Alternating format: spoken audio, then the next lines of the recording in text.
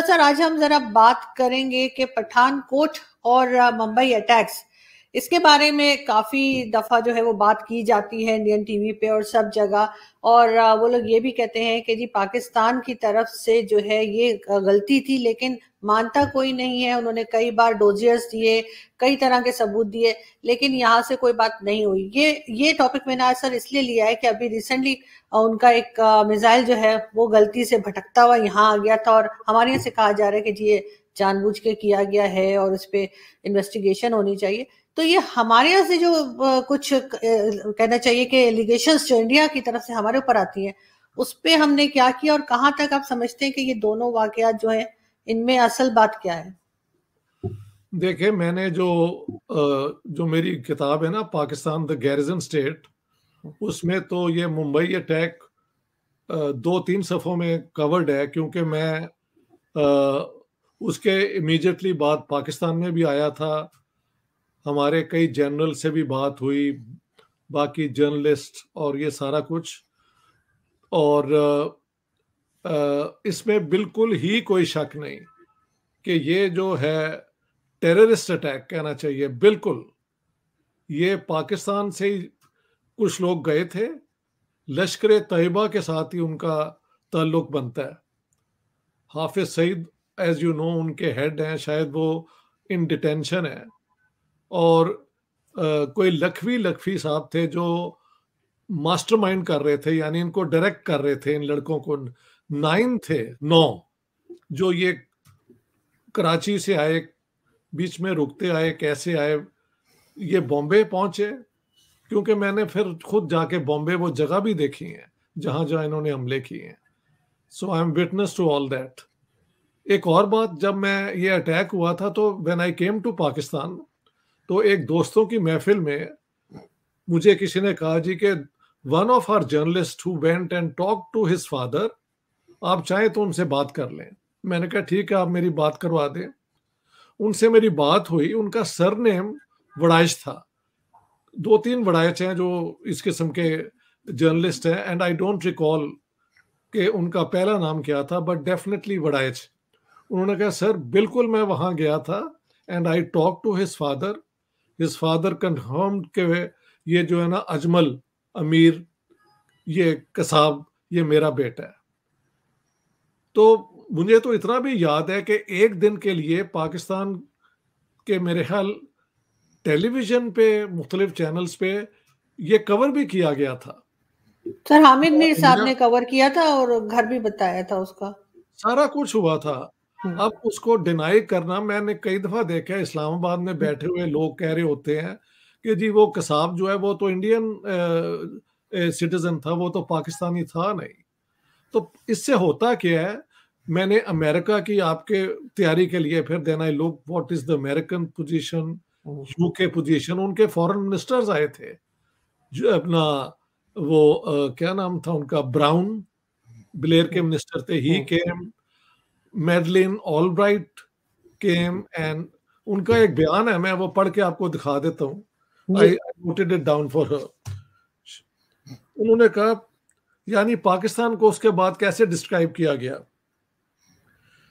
Pakistan has everything get that gives you an international migraine it has nuclear weapons it has terrorism extremism corruption, very poor, and it's in a location that really, really is important to us.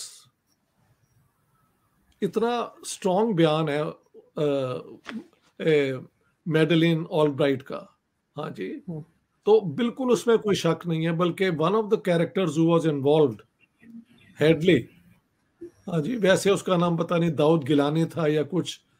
जो महाराष्ट्र में हम्म। किसी terrorism में पकड़ा गया इतनी ज़्यादा conformation है उसकी और हुआ ये था कि उस जमाने में let me put it put you in जो हमारे न्यूली इलेक्टेड प्रेसिडेंट थे आसिफ अली जरदारी उन्होंने और प्राइम मिनिस्टर गिलानी जो है हाँ जी यूसुफ रजा गिलानी उन्होंने इनिशली एग्री कर लिया था कि हम आईएसआई के जो हेड है ना जनरल पाशा उनको इंडिया भेजते हैं ताकि वो कोऑपरेशन करें इसकी इन्वेस्टिगेशन में। मुझे तो इतना भी याद है कि फॉरेन मिनिस्टर पाकिस्तान के जो थे, ये अपना Shah Mahmood Qureshi while the attack took place he was in Delhi क्योंकि एक कोशिश हो रही थी दोबारा पीस टॉक्स को रिवाइव करने की। तो ये लोग बड़ी बड़ी मुश्किल से ये वापस आए, दिल्ली से।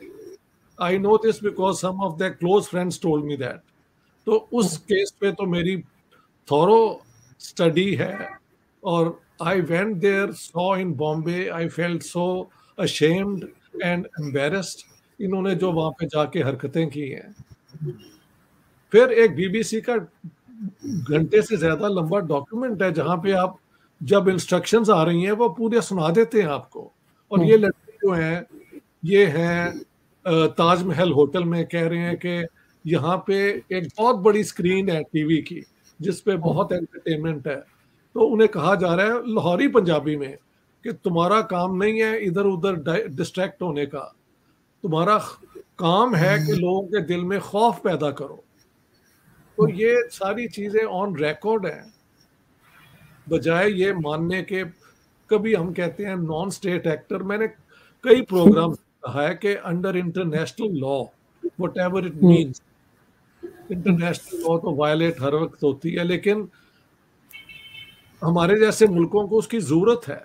Under international law you cannot claim कि कोई आपकी टेरिटरी से जाके कहीं किसी और मुल्क में एक एक्ट ऑफ़ सेबोटाज या टेररिज्म करता है तो वो आपकी रिस्पॉन्सिबिलिटी ये लश्कर तैयबा और ये जैश ए मोहम्मद और ये they are worth nothing if the Pakistan government doesn't give them protection कोई टेररिस्ट ऑर्गेनाइजेशन ज़्यादा देर नहीं रह सकती अगर वहाँ की हुकूमत वहाँ की स्टेट उनकी मदद ना करे। ये लश्कर तयबा और ये जैश ए मोहम्मद और ये they are worth nothing if the Pakistan government doesn't give them protection कोई टेररिस्ट ऑर्गेनाइजेशन ज़्यादा देर नहीं रह सकती अगर वहाँ की हुकूमत वहाँ की स्टेट उनकी मदद ना करे। ये लश्कर तैयबा और ये जैश मोहम्मद और ये सर लेकिन ये ज़रूर है कि ये बात तैयार इन्हीं ने किए थे इस तरह के लोगों को अपने किसी और काम से और काम के लिए लेकिन हुआ ये कि अब इन्हीं के गले पड़ना शुरू हो गए क्या ये कहा जा सकता है? आप ये कह सकते हैं कि इनके गले ये कभी कभी पड़ भी जाते हैं हम्म। लेकिन इनको ज़िंदा रखना इनको इनके जो नेटवर्क्स हैं उनको कायम रखना वो तो कहीं ना कहीं पाकिस्तान गवर्नमेंट के किसी एजेंसी की मर्ज़ी से ही होता है ना? सर लेकिन ये ज़रूर है कि ये बात तैयार इन्हीं ने किए थे इस तरह के लोगों को अपने किसी और काम से और काम के लिए लेकिन हुआ ये कि अब इन्हीं के गले पड़ना शुरू हो गए क्या ये कहा जा सकता है। मुझे तो यूँ समझ आती है। वरना ये अपना लाहौर के पास जो है चबूर जी के पास जो इनकी पूरी एक हुकूमत है यार। ये हाँ। हाफिज सईद को तो सर इन्होंने ऐसे दामाद की तरह रखा हुआ है उसको हाउस अरेस्ट है वो और मज़े से रह रहा है। हाउस अरेस्ट है हाँ। मुझे तो यूँ समझ आती है।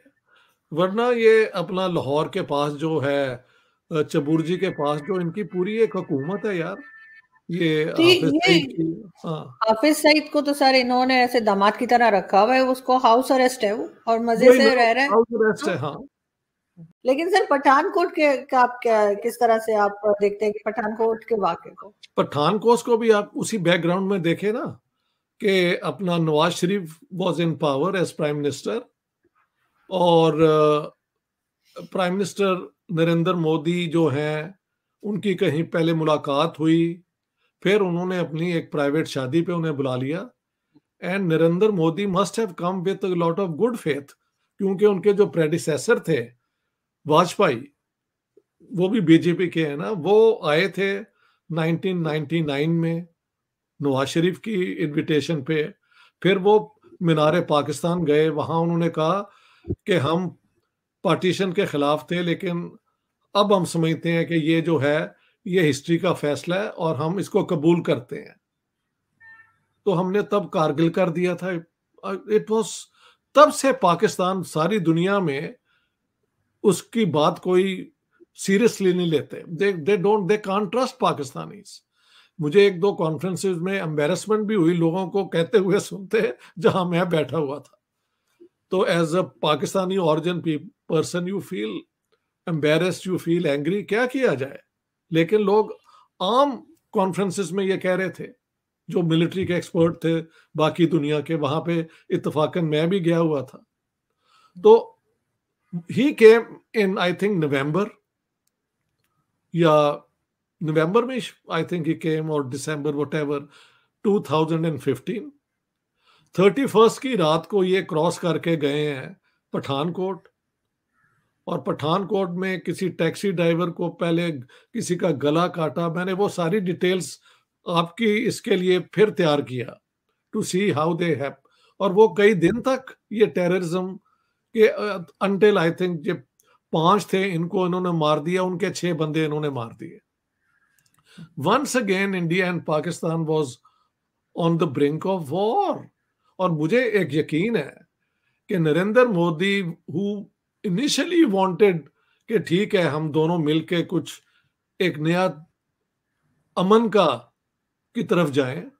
He is a different prime minister वो टफ आदमी है राइट और रॉन्ग अब तो प्रूव भी हो गया ना इलेक्शन जीतने की वजह कि people consider him a strong leader and they think India needs a strong leader